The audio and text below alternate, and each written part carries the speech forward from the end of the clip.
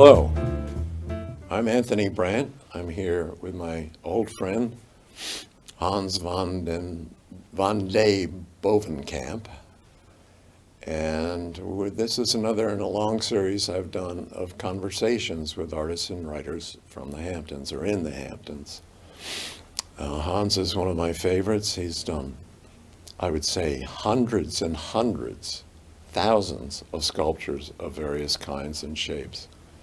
And you'll see them all over the Hamptons because he's gotten commissions from various local places. And here he is. This is Hans van den Bovenkamp. Van de Bovenkamp. I got to get that name right.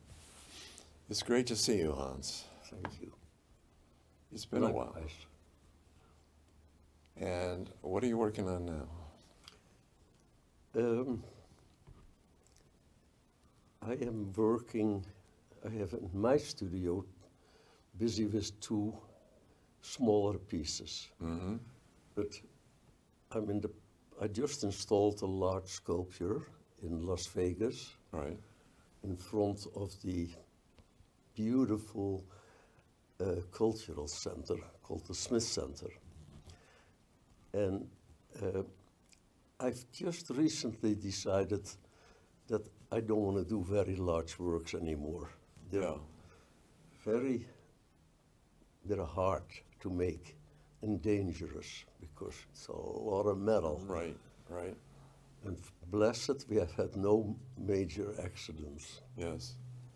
Actually, I interviewed somebody, Richard Serra, once, who had lost two workers when he was constructing one of his giant steel sculptures, and they, they had died when something collapsed and fell on them. So that's a legitimate concern. And you do very large sculptures. You do them 30, 40 feet high sometimes Yes. and they're very impressive.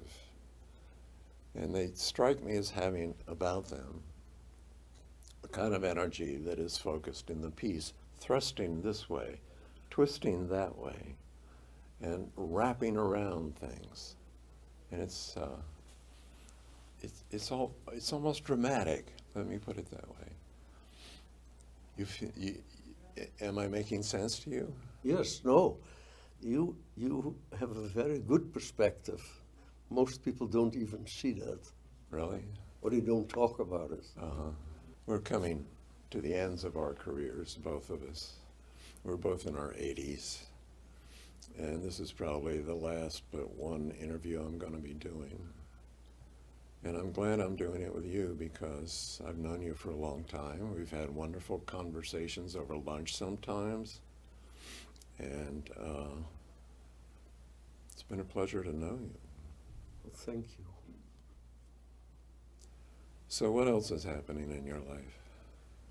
Well, uh, as I've gotten older, my power of teenager or middle-aged person has subsided, and fortunately, I have uh, assistants. They have been with me for 25 years. Uh-huh. Uh, and it is a, a very focused business. And uh, you know, when you have, I've had as many as 25 assistants, Wow. and there's a lot of coordination involved. Yeah. So I have a pad on my bed with a ballpoint with a little light in it. And in the middle of the night when I have a thought, that's actually when I do most of my thinking, when I wake up. And then I make little doodles. That, and then in the morning I transfer those to more visible and visual uh, compositions. Uh, but I told you that my work is mostly influenced by mythology Yes. and by nature. Right. I am, uh, as you are, we look at, I look at trees and I'm always in awe of a tree. Yes. How there are thousands, millions of trees and they're all different. That's right. I know the trees on my property pretty well, and I greet them in the morning as I walk to my studio. Uh-huh. And because I'm surrounded by them, you know, they're my extended family. And with the sculpture, it's been a very long, long journey. I started sculpting when I was about 18, and uh, that's all I have done. Before I was 18, from 17 to 18, when I, uh, Uh, I immigrated with my family to Canada, and my father said, Well, why don't you get a job? So let me try it. I had in one year a dozen jobs, and A dozen. I, yeah, I was from dog walker to mailman to schlepper at uh-huh. a building site. And finally, I became a manager of a bank. Right.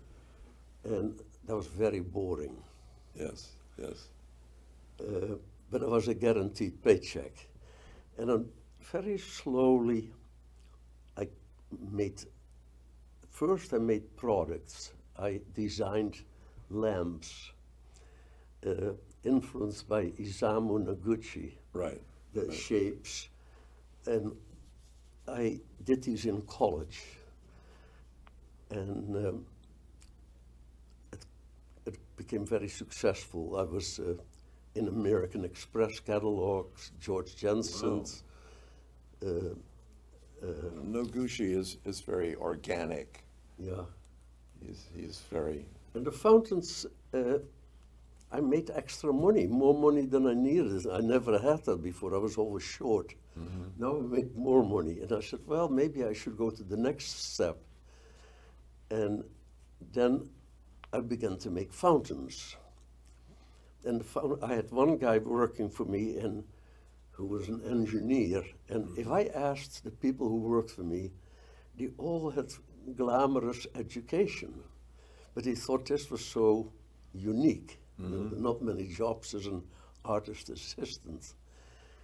And the fountains I sold all over the world uh, by very glamorous collectors, very famous people. And I was blessed to meet many of these people who introduced me to other mm-hmm. people. And the fountains were kind of like a Rube Goldberg contraptions. The, you know, we had a, reservoir of water, and then you could plug it in, and then the water went to the top and cascaded down and made wheels move, made arms yeah. rock, and it was, was a lot of fun. But frankly, it became a job. Yeah. And the lamps, I ended up as one of the 20 best designs of the year in Life magazine. Oh, that's nice. Yeah, and all of a sudden my career took a quantum Yeah. leap. Publicity is very, has been very important. I've been incredibly blessed.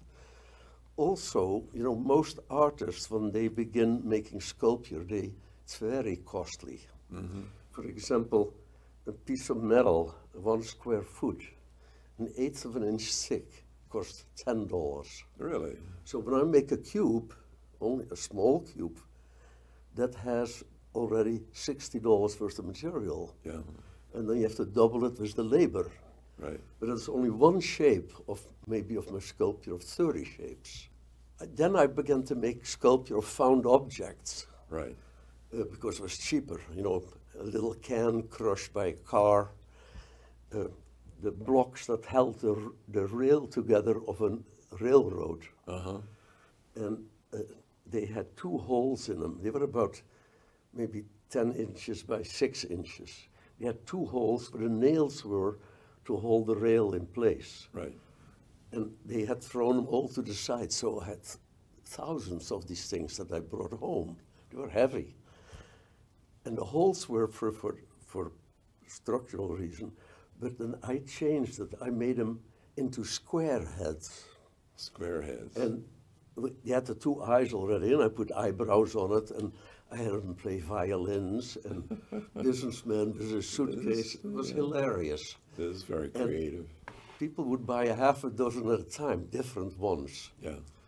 And then I got bored with that after a year or two. And I said, now I want to make sculpture. but what kind of sculpture? And I studied a lot in books uh, to see other artists' work, and then I looked at nature, and in nature there was so much beauty. And you could take a little part of a tree, and that could be a sculpture. And I was twisting and turning, and basically uh, talking about what the weather was like. If there was a strong wind for three months, a branch would move this way. And so it was very organic. And then also mythology was very important because in mythology, any story is okay. And the a- and it had to do a lot with uh, spirit things, spirit ideas. Uh, and mythology is unending. You have, I, I have dictionaries of mythology that are full of every country or every region has its own mythology. That's great. And yet, you know, a person like Joseph Campbell, who was so uh, respected as a mythologist, Yes. uh, I met him several times and he came to look at my work and I said, What should I be doing? He said, Follow your bliss. I said, Okay, that sounds easy. It was not so easy because as an artist, you try to create a language and you create your own alphabet. And as my sculpture, my the sculpture journey began to expand, and I became more proficient, and I could afford durable material, lasting. Like my sculptures in bronze and stainless steel, they'll last for thousands of years. Right. But they're hard to work and they're costly to purchase. And first I made cutouts like a drawing, and I drew on the metal or on the cardboard, and then my assistants would cut it out. And then I would create three dimension with painting. And then later on I said, no, sculpture has to be three dimensional, really three dimensional. Then I began to make shapes that were hollow. Mm-hmm. And I made them, I make drawings, and then I would make the drawings larger on cardboard, and my assistants would cut them and transform them into metal. Mm-hmm. And then we would begin to curve the metal, so it had already a three-dimensional feeling. Mm-hmm.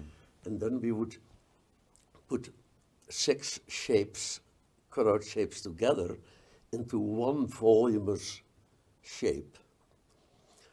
And by putting a curve, and my, my sculptures became larger and larger. I've done sculptures uh, 40 feet tall. Right. I've seen pictures of them. Yeah. Yeah. And always got huge publicity. And then I realized most sculptors are making small things that go in the house. And since I had studied architecture, I would see a sculpture as a landmark or as a tulip in your lapel for a mm-hmm. decoration. And so the sculptures became l- large and could relate to skyscrapers. And then people say, Where is the building? I said, Well, you know where the red sculptures? Oh, yeah, that we know. I said, Well, that is 11,202 Corporate Drive. They said, No, we know the sculpture. We don't know what these numbers. so it became another dimension, actually, about of, of awareness.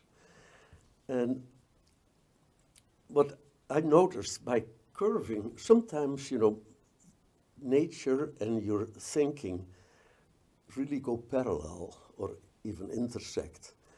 Uh, I think then you have really achieved a very sensitive dimension.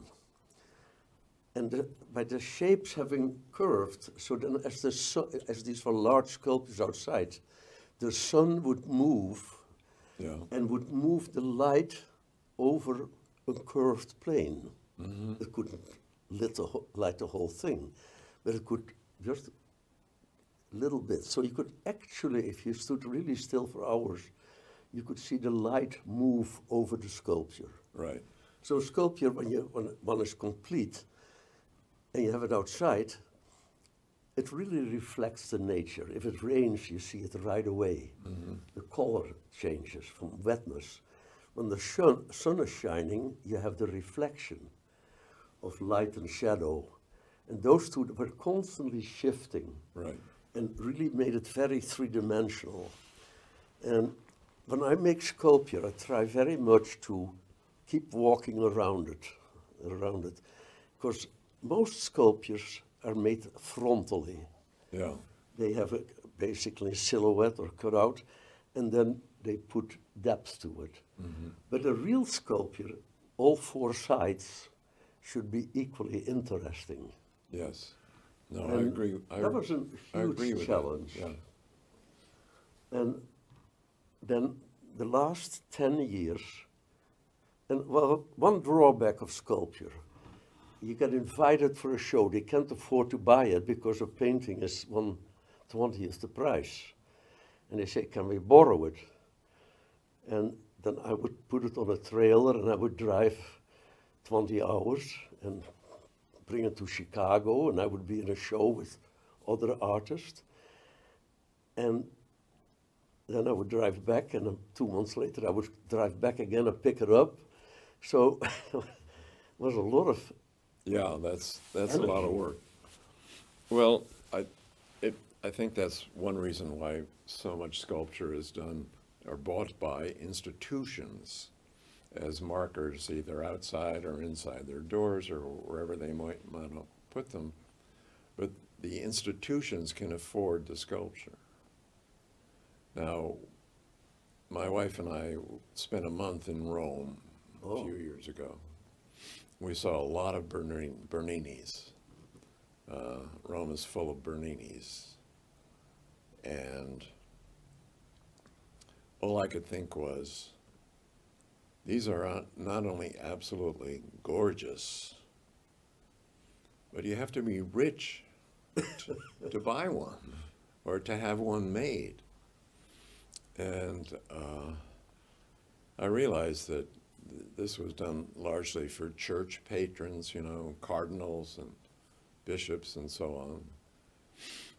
And uh, I remember walking around one of Bernini's sculptures, and I think it's the Rape of Persephone.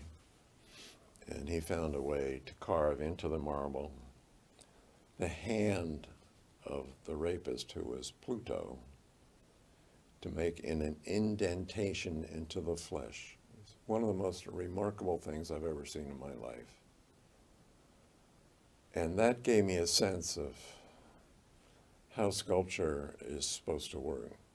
Now, when I talked to Richard Serra, he, he said very disparagingly, sculpture is what people bump into when they back up to look to a, at a painting. yeah, I, I thought, well, that's interesting, but it's not really the case. And, and more to it. yeah. and, uh, but your sculpture is often monumental. It really is made for a large place. And I understand and appreciate the work that has to go into that, the amount of labor, the sheer labor that goes into it. And I think you, as you, as y- y- as you said earlier, that you have to be a younger man to be able to do this, or even to want to do it. I'm a writer, I don't face those problems. But, uh, it's, uh, I was, I was telling you earlier what I, what I saw in your work. And partly it's, it's the forces, the, the thrust, and often the thrust bends and curves around and makes curves. And that strikes me as, as it's, it's not quite abstract because it's, there's a real sense of power in them. And there's something is going on inside even though it's an inanimate object, that makes them feel so strong and so focused in a way that is sometimes whimsical. Uh, anyway, it just feels like it's good, Thank you. and it is good. You know, if- you have a good source for ideas, Yeah. like nature and mythology are so rich and so huge. Right. In um, my la- latest sculptures, which are quite large, and where I've taken many shapes and piled them, that series is called Menhir. M E. N H I R, Right. which means standing stone Right. vertically. Or, and I said, well, that's nice, but I cannot do the sculptures with a stone sticking out this far. So by making them hollow in metal and welding them, Yeah. I could make very complex menhirs, more so than the people who invented the word menhir. Yeah. And uh,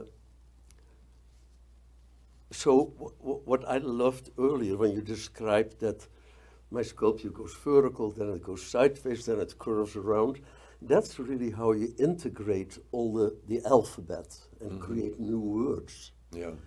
And um, also, structurally, it improves it. My sculptures are very strong.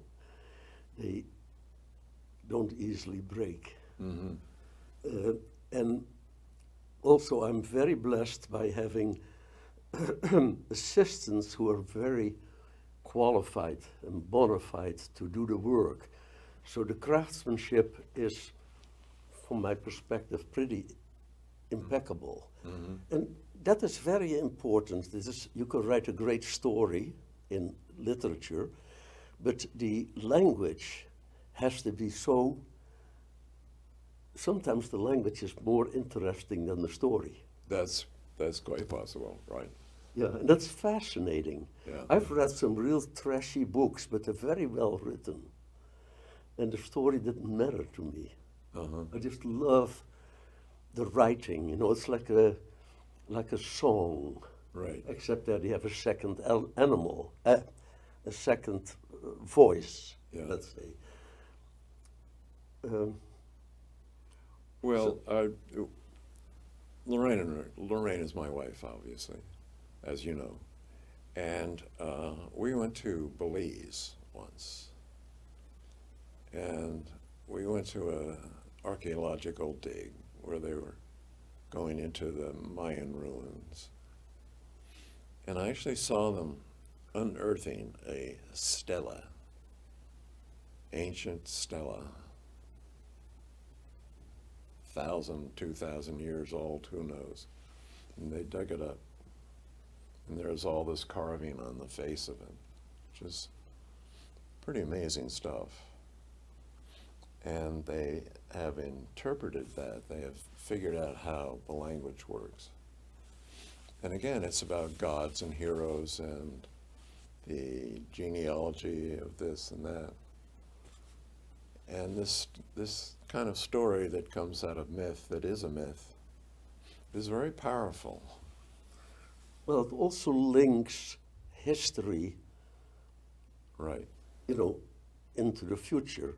I remember uh, walking in the Yucatan Right. by the Mayans, uh, where they had lived. And you come to a spot, and all of a sudden you feel energy coming out of the earth. Right. Uh, and the Mayans, when they found an energy spot, they would erect some shapes, mostly columns, hmm you know, menhir, vertical stones.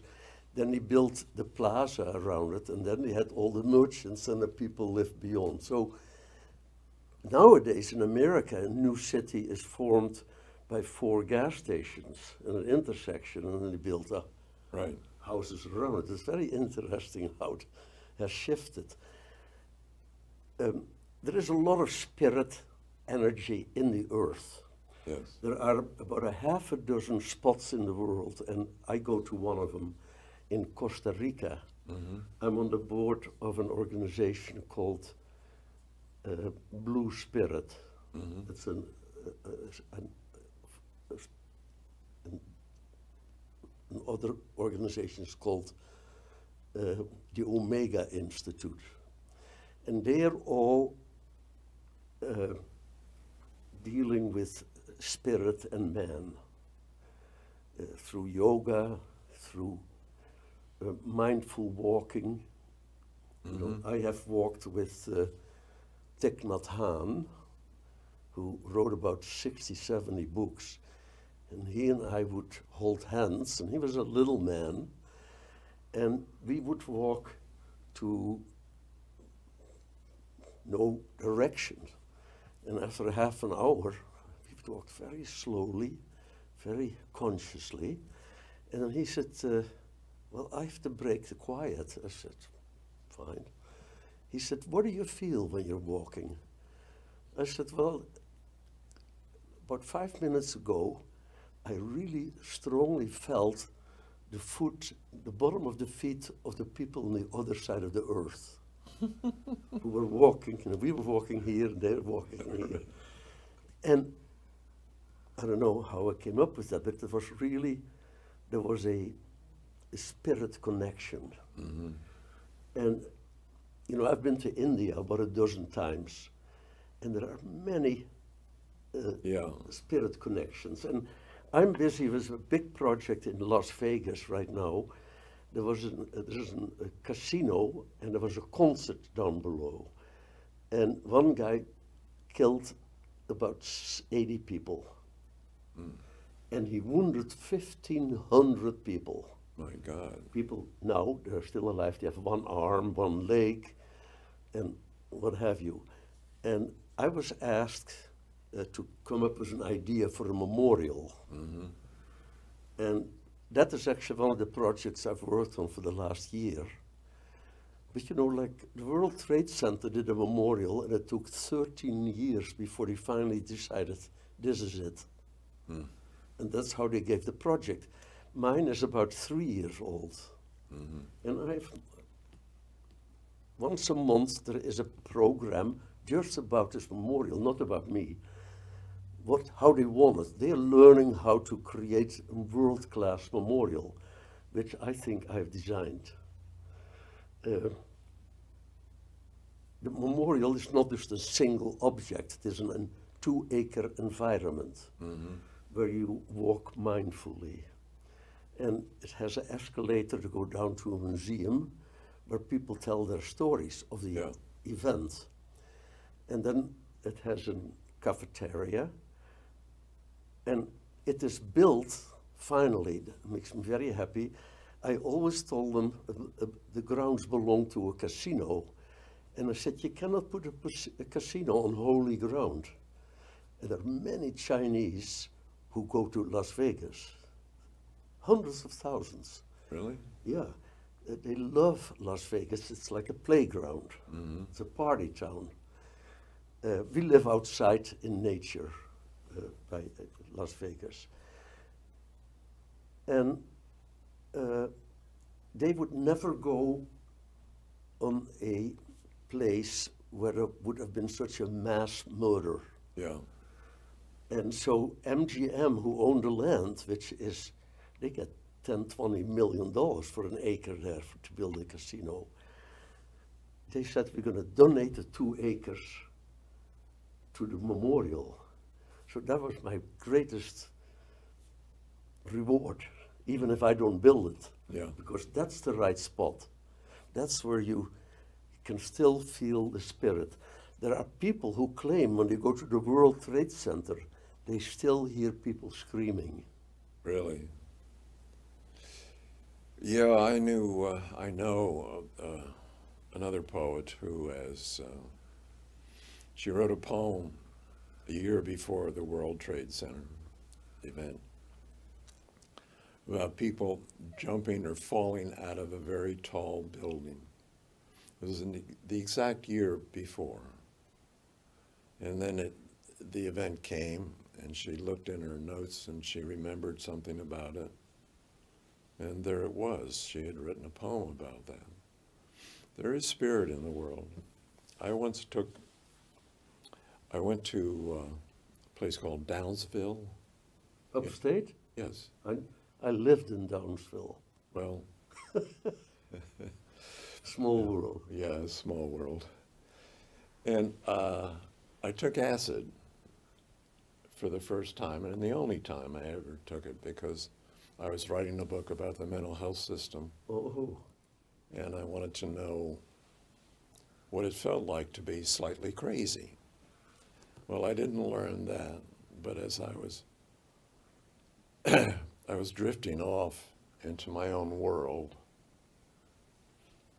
and I saw there were three people there. I saw three ghosts, not ghosts, but spirits. They were about two feet off the ground, and they were talking to each other about the three of us.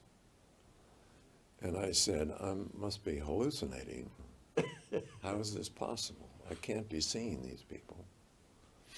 And uh, that's when I, I came away from that experience no longer afraid to die, number one. Number two, I came away from it. Yes, there are things that we don't understand about the world and about what's going on in the world, in the other world. And there are more than one worlds. There are many worlds out there that we clue into.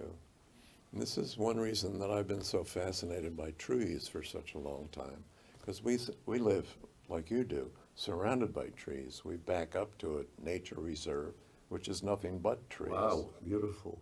And our front yard consists almost entirely of, of trees, a whole bunch of mostly oak trees.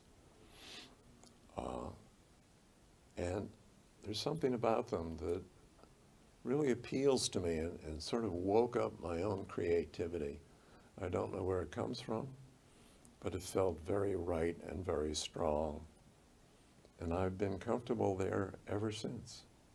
I really felt I found the place for me. I love that you use the word energy. I think all things have energy. Yes. And I think I have met people who have died. I've met them when I exteriorized. I left my body and I spent time with them, but it was, was just energy. You know, it was just air, energy. But there was a language and a vision, and we communicated. I don't know, I didn't speak Dutch or English, you know, it was just thought. Before you could even say the word, the thought had already communicated Yes. to the other spirit. And I, I agree with you that forests uh, have a lot of spirit. There is, because some people talk about they see light at the edge of life, and other people say they see darkness. And uh, it, that's very interesting. And for me, um, I, uh, you had mentioned earlier psychedelics. I was very friendly with uh, Ram Dass. Once spent a week alone with him. And Tim, Tim Leary, Timothy Leary. Those two gentlemen were into extraordinary visions, which is similar to religion. Yeah. Religion, uh, I don't know if all of this stuff exists, but why it is, you kind of project it very utopian. So if you can live towards utopia, that's a good, that's the right Yeah, direction. it's, it's the right direction, And- as you say. And uh, I had long talks with them, and you know, we took the, the hallucinogenics uh, together, and, and another form was ayahuasca. That Oh, yeah, ayahuasca, the South American drug. South America. Yeah. I've, I've done a lot of that too. And then people say, Hans, you know, it's not good for you, those things. Those are people, experts who have never taken it. Right. And I said, well, you know, I don't know. I seem to be getting smarter as I get older. So, You can't argue with that. right, know. And so I've been to India many times, and I've spent a lot of time with Buddhists. I'm, I'm a son of a Baptist minister, mm-hmm. but I think of myself as more as an unregistered Buddhist. Me too. Yeah, yeah, because it is peaceful. It's peaceful. It's not warlike in any sense of the word. They're not into war. And they're know. into, they're into. I don't think Putin is a Buddhist. No, I don't think so. That's not possible. But what was so great, you know, when I would be in India, I would see these Buddhists walking in their beautiful gowns, and I would say, "Where are you going?" He said, "Well, we have a store for Buddhists that's outside of town, about an hour." I said, "Would you mind if I walked there with you?"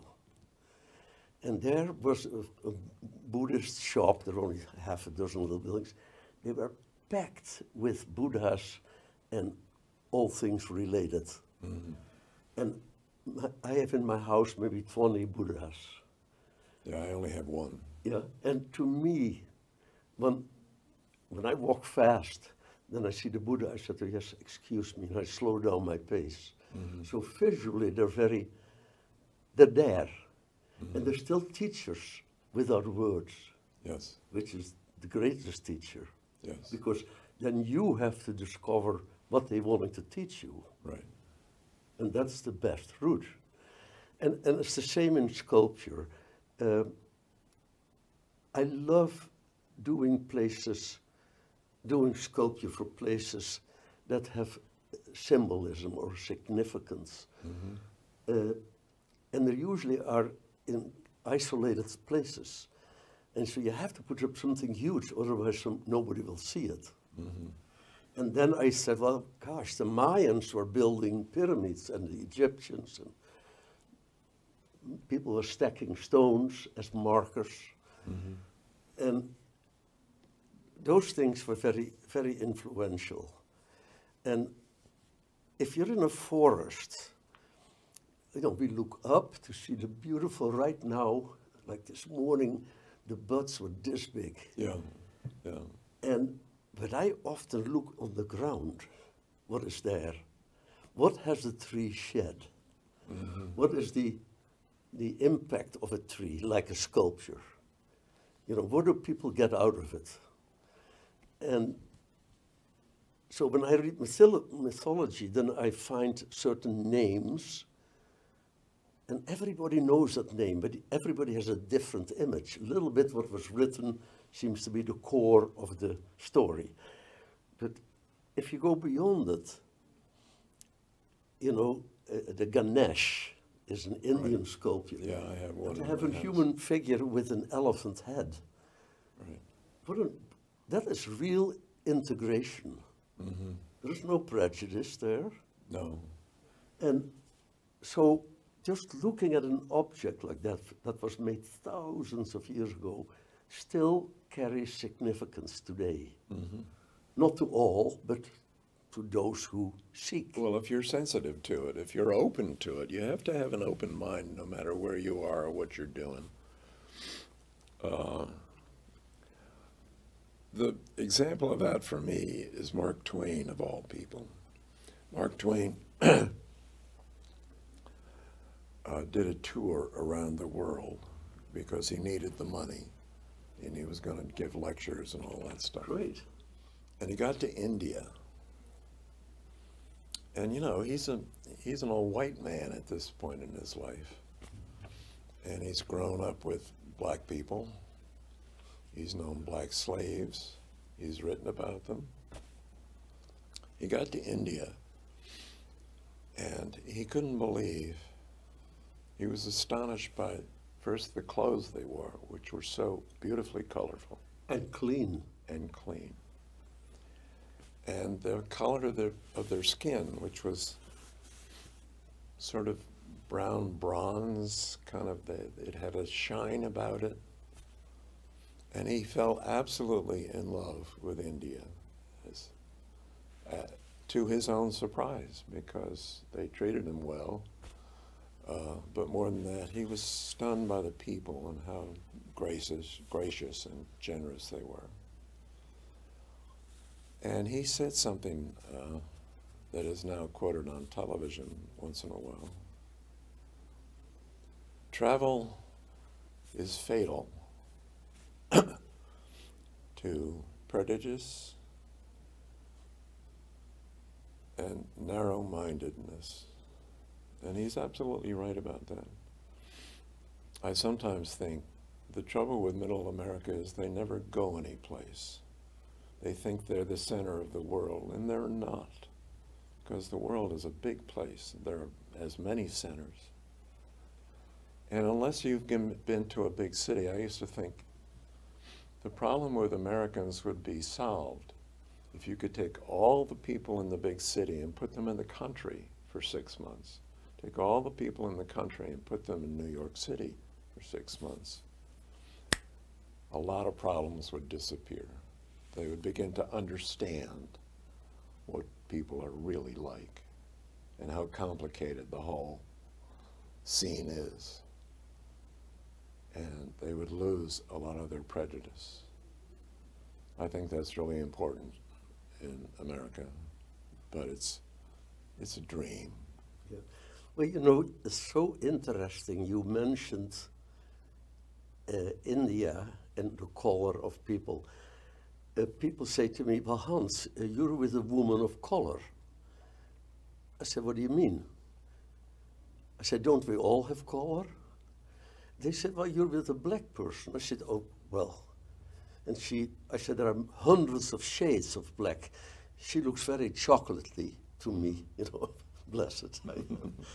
and so I'm, I feel I'm in the last phase of my artistic output. Right. And since my body has been injured from the heavy material moving, pushing to maxing and you know, not breaking something, Yeah. I started to paint portraits, and they're called faces of many colors. hmm And I do these abstract faces, put every color in it. But you notice a face, you see the eye, the nose, and the mouth.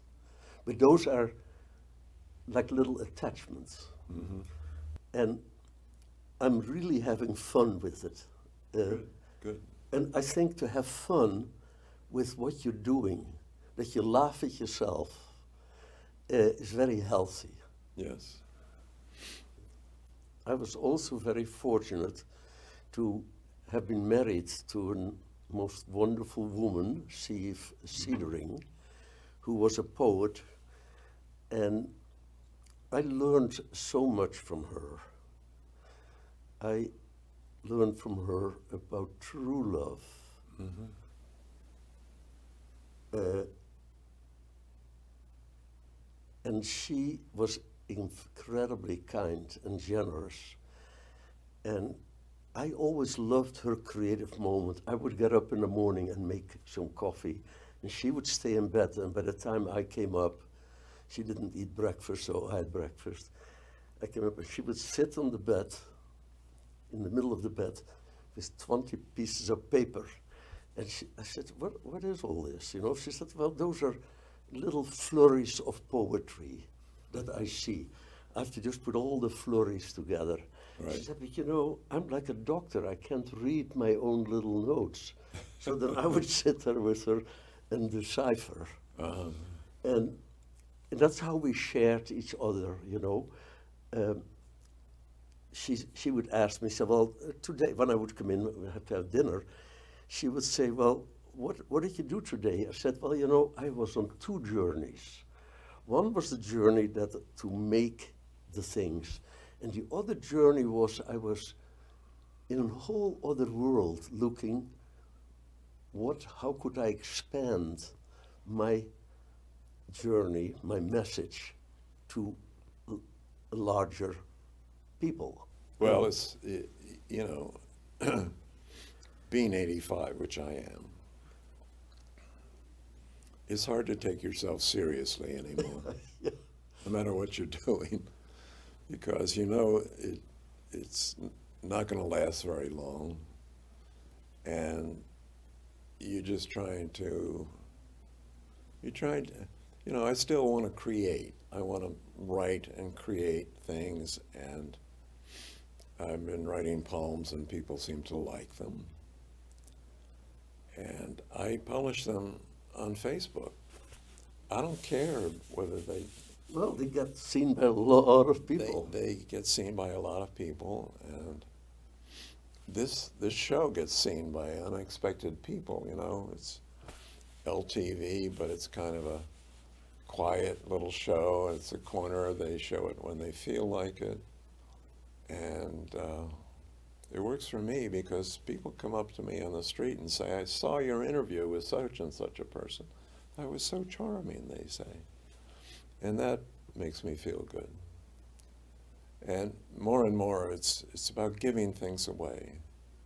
I have 5,000 books. That's too many books. Well, And I realize that uh, my children are going to be stuck with them. I sold all the rare books because they wouldn't know a rare book from a, from a comic book.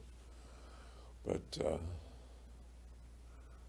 it's not about things anymore. It's about what's going on in your life and how you feel about your surroundings and the other people in your life. And it really pays. You have to be kind. You always have to be kind. And I think once you master that, once you stop complaining about stuff and putting yourself and once you put yourself in another person's shoes and understand what they're going through, it really changes everything about you. And it makes you a better person. And that's what we're here for, I guess. We're coming to the end, by the way. We, you and I have had a wonderful conversation. At least I've enjoyed it enormously. I hope you have too. And we've talked about a lot of things that uh, we have been both on both our minds for probably all our lives, you know, and about our creativity. And uh, it's it's been great. It's been wonderful. I've really enjoyed it. I hope you have too. well, it's always a pleasure seeing you. I think you're a, an unusual mind. Uh, that's interesting. I once had a professor at college hold me back from class, a very small class, eight people. And he said, I want you to talk up more. You have an interesting mind.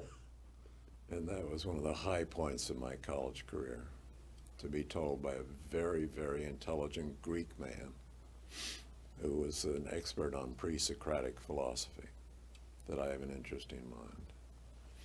And I think it's true. I think it is an interesting mind because it's free. I don't care about what other people are thinking. I really think for myself. And I don't think that often is true in the world. But my mother taught me to be very independent. Very. Independent.